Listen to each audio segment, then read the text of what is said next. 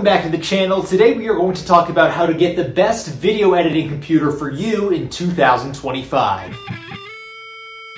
Okay, there's going to be a lot of things that you have to consider before you can decide what is the best computer build for you, because really it's going to depend on what your situation is. And paired very closely to that is knowing what your starting budget is, how much you're willing to spend in total to get to that setup. So for example, I've got pretty much all the peripherals I need. I've got the monitor, the mouse, the keyboard, the speakers, a couple of microphones. Whereas, especially if you're just starting out and you don't necessarily have all these things, you don't have to jump to the nicest thing right out of the gate, but you do have to be able to recognize what things are essential for you to get up and running, and then factor that into your budget to cover how much is going to go to those items versus how much is going to go to the computer. But if you have no idea where to start, here is generally what I will say. To do a custom build, I will generally recommend PCs. I am a PC person. If you want the computer to also do any form of gaming, I would also go the PC route. But if you're strictly using your computer to edit media, generally speaking, Apple is the better platform from that out of the factory factory. A lot of their computers are really optimized with the software that's already loaded. They already have a video editing and an audio editing software that are on there for free, and they are designed to work in conjunction with how the hardware is set up to really maximize the performance that you're getting. On top of that, the displays they have built in not only on their laptops, but also on their iMac desktops are pretty top notch. However, there's not as much support and not as many games that are available on those computers, so just be aware of that if that is something you want to use the computer for. So that's really step one is determining the requirements. What do you need and what would you like it to do above that? And if you've gotten to this point and you're really not sure what to do or how to do that, what I'm going to recommend is that with your budget, figure out how much of it is going to the computer alone. You can go to a website like PC Part Picker and what they will do is actually show you compatible parts. There's pretty much a solid build setup out there already for any increment of money within about a $50 range going from $500 on the low end to $2,500 or higher on the top end.